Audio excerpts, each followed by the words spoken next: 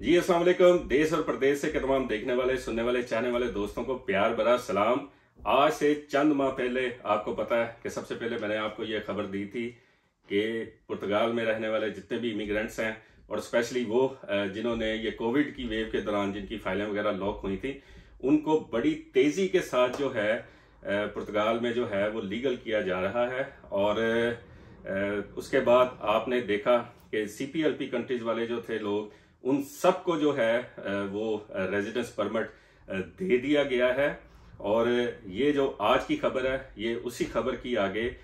समझ लें उसी की ये कंटिन्यूटी है। और अब जो है, वो सबसे बड़ी खबर जो है, आज की सबसे बड़ी खबर, सबसे बड़ी खुशखबरी,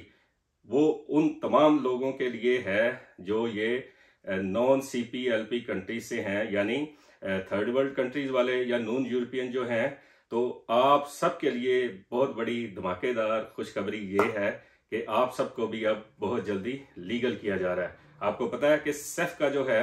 ये इख्ताम हो रहा है इसका खात्मा हो रहा है, इसको ख़त्म किया जा रहा है जो ये काम इमिग्रेंट्स के हवाले से किए जा रहे हैं कर रहे हैं और इसको जो है आगे शिफ्ट किया जा रहा है। तो ये शिफ्टिंग से पहले पहले मैंने आपको बताया था कि जितने भी यहाँ पे इमिग्रेंट्स हैं, उनको कोशिश किया जाएगा कि उनको बिल्कुल समझ लें वो बिगनिंग से स्टार्ट लें तो उनके उन पर किसी किस्म का कोई बर्डन ना हो। ये गवर्नमेंट की पॉलिसी थी।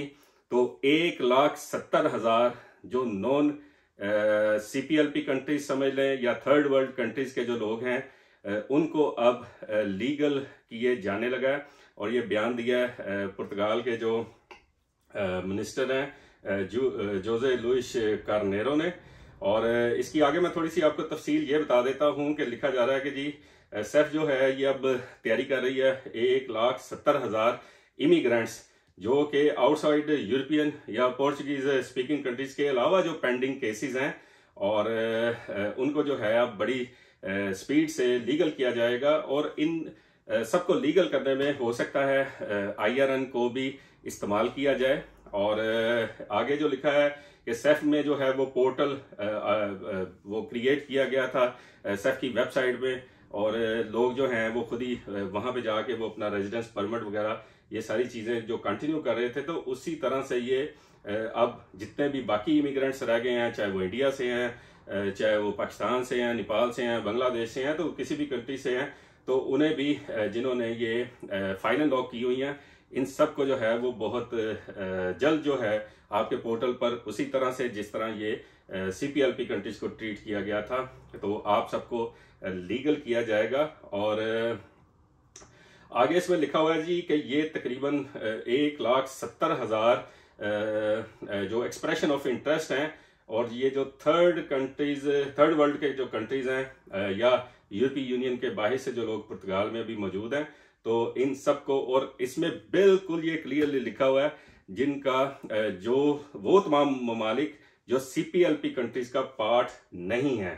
तो ये जनाब प्रेस कॉन्फ्रेंस हुई थी जिसमें जोजे लुइस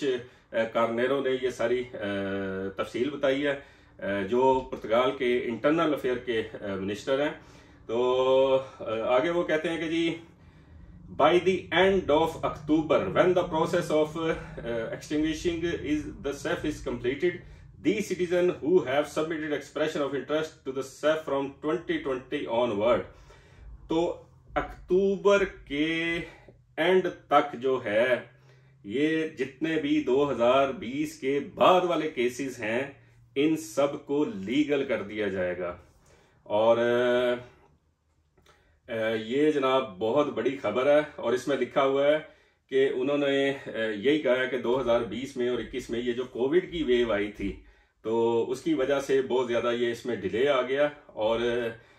आगे लिखा है जी कि migration and will be creative which place regarding in the balance of the safe advance the portal made available for granted और इसमें आगे वो तफसील यही बता रहे हैं कि ऑलरेडी जो है एक लाख तेरह हज़ार जो सीपीएलपी कंट्रीज़ के लोग थे, उन्हें ऑलरेडी लीगल किया जा चुका है। तो मैं फिर, एक बार फिर ये रिपीट कर रहा हूँ कि जितने भी नॉन यूरोपियन या नॉन यूरोपियन यूनियन से बाहर के जो लोग हैं, जो सीपीएलपी कंट्रीज़ के अलावा